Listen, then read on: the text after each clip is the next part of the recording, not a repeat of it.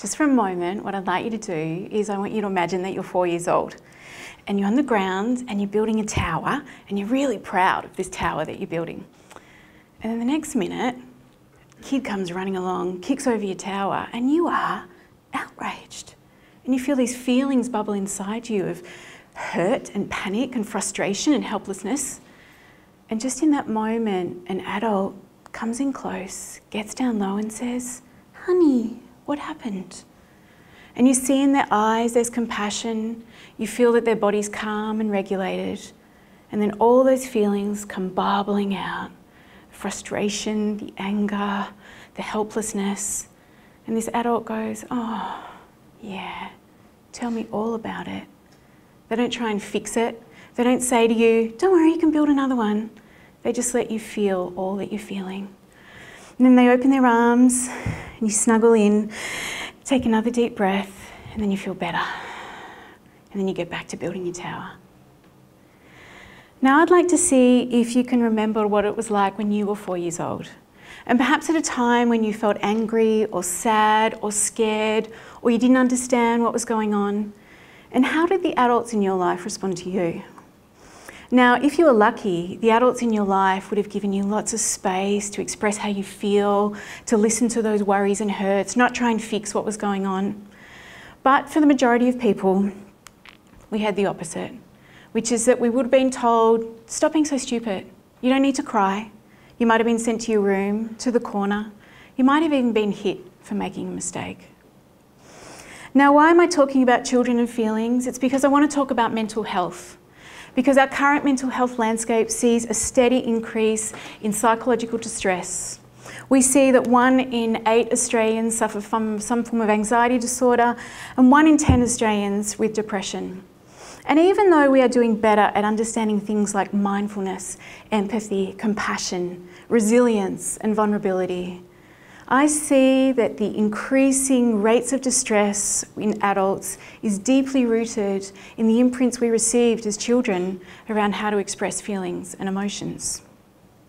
Now, it would be very easy to blame our parents for what they did or didn't do, but our parents were doing the best job they knew how. They were either doing what was done to them, or perhaps they swing so far in the other direction and say, I'm going to do it the exact opposite. I see that the issue lies really in the lack of emotional literacy that we have in our culture. We don't teach parents how to respond to children's feelings and emotions with empathy and compassion. We don't teach it in our kindergartens, we don't teach it in our schools. Somehow we still value IQ far more than we value EQ. I wonder if from the beginning we were told that childhood defines adult mental health, whether we would take greater care to nurture a child's soul. Now, my work over the last 16 years with families around attachment and trauma and connection has shown me that there's usually three ways that we learn as kids to deal with feelings and emotions. The first one is repression which means that as a child, if you learnt that it wasn't safe to express your feelings, perhaps you got shut down, you were told to stop crying, perhaps you were given a look that made you draw everything inside, then you were going to have to find a way to cope with all those feelings and emotions. And for most people, they learn to repress them. They push them down deep. Most of the times, they disassociated. Now, the impact of that on a child is that those feelings stay there and then as adults, those feelings can turn up again. When life throws us a curveball that's got similar themes to stuff that happened when we were a kid, those same feelings come up. But this time, our repression mechanisms look like this. They look like another glass of wine that we drink, they look like hours mindlessly scrolling through Facebook, or they look like making yourself so, so busy at work that you don't actually have time to feel. The other thing that we might learn to do is move into aggression which means that as a child, if we felt really powerless, if we felt scared, if we grew up in an authoritarian environment where we didn't have a voice, where we couldn't say how we felt, then those feelings again would bubble inside us. And at the point where they would tip over, when we often felt frightened or threatened, they would come out in aggression, in rage, in loud words. And sometimes you might have been labelled as naughty, too much, or trouble, when really all you were doing was responding to your environment. And then as adults, those aggression tendencies turn up in bullying behaviour. They turn up in harsh critical thoughts about ourselves and others. They turn up as violence. Then the third thing that we learn to do is expression, which means that if we grew up with an imprint that said, feelings are welcome, it's okay for you to express how you are. I will accept all of you the happy bits, the sad bits, the joyous bits, the bits that are angry. All of you is welcome. I'm not going to try and fix, I'm just going to hold. Well, then what happens is, as adults, when things feel hard, we reach for our journal, write down our thoughts. We call a friend and say, hey, can you listen to me? We go for a run, we do some yoga, we speak to our therapist, and we find a way to lean into the feelings, we feel them, and then we let them go. Now, I am a mum to three big, beautiful teenagers. And when I first became a parent, like I'm sure many of you here, as a first time parent, you have absolutely no clue what you're doing. And when it came to understanding feelings and emotions, my game plan was going to be I'll just keep them happy all the time, right? Because it's really easy to keep kids happy all the time. And um, if any of you know who have kids, that's a ridiculous thing to do. Uh, it is impossible, it's, uh, it's ridiculous, and it's incredibly exhausting trying to keep people happy all the time. So I learned pretty soon that that wasn't actually going to work. And I needed to find a way to help my children thrive emotionally and also create harmony in our homes. So I was lucky enough to understand and study trauma, and I began to see that what we need as humans is a safe place to unpack all of who we are we need boundaries and holding, but we also need empathy and compassion for all those big feelings that rise within. So instead of trying to fix my kids' problems, instead of trying to make them happy all the time, I just got down low and I said, Tell me all about it. And I just listened. Sometimes it was tears, sometimes it was rage. There's a lot of complaining that happened. But every time, my only job was to sit there and just hold for them. And what I began to see was this incredible emotional intelligence developing in my children. Now, I think the time where I realised that this was incredibly powerful was um, one evening when I was um, making dinner. I had to go and teach a class, so I'm doing the hustle that most parents do, where you're trying to make dinner quickly because I'm about to get out the door. And my youngest daughter, who was five at the time, comes into the kitchen and she's looking no happy, and I could see that she's got some feelings on board. And I'm like, ah, oh, I've got to do the dinner, I've got to get out the door. And I actually turned to her and said, honey, do you think you could hold on to your feelings for a few hours?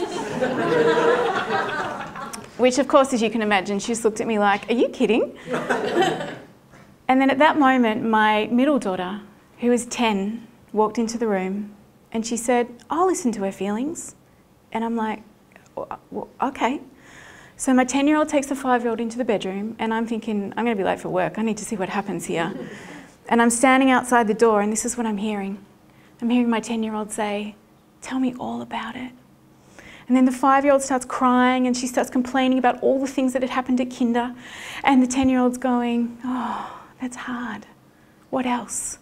And then there's more complaining, and then there's more tears, and then there's giggles, and then there's laughter. And then they come out of the room, and I see my 10 year old and I say to her, Honey, how was that for you? And she looked at me and she said, Well, Mama, I just did to her what you do for me. And in that moment, I realize children cannot be what they can't see. How do we expect children to have empathy and compassion for other people if we don't show them how? How do we expect them to treat others with kindness and respect if they don't know what that feels like in their own bodies? See, I wonder what it would be like if we actually supported parents with tools and understanding to listen compassionately to their children. I wonder what it would be like if we actually helped parents unpack their own childhood so that they don't have to carry that baggage and put it on their children's shoulders. I wonder what it would be like if we supported and encouraged boys to cry and be vulnerable, and we encouraged girls to rage and find their voice and speak up for what they need. And I wonder if instead of harsh disciplines and punishments, we replaced it with compassionate listening, loving limits, boundaries, and we learn to look behind the behaviour. There is always a reason behind the behaviour. And I wonder what it would look like if we took all of that and we placed it in our education system. So it's because of those ideas that around about 18 months ago, a colleague and I set out to create Woodline Primary School. A primary school set in the Geelong hinterland on a beautiful farm with abundant nature. We have horses and chooks and veggie patches. And the philosophy of our school is around fostering emotional well-being in a safe learning environment. So research actually shows that when children feel safe to learn, which means they feel free of judgment and criticism, when they're treated with kindness and respect, where they have autonomy over their bodies and their learning, and they are given uh, much love and celebration about the unique differences in who they are, then what happens is their neurological systems become fully operational and their capacity for growth and learning increases. So our aim at Woodline is when children spend time with us at our school, not only do they learn about the world, but they develop critical life skills such as emotional intelligence, growth mindset, critical thinking, a love of failure, because every time you fail, you just realize, oh, there's just so many more options I haven't yet explored. And more than anything, they learn to become compassionate citizens of the earth. We believe that if we support children's emotional well-being, then learning becomes effortless and infinite. The great Sir Ken Robinson said that the aims of education is to understand the world around us and understand the world within us. But what if we prioritise the world within? Then surely the world around us would make so much more sense. How well, how different could the world be if we place connection, heart, and compassionate listening at the centre of every relationship? Thank you.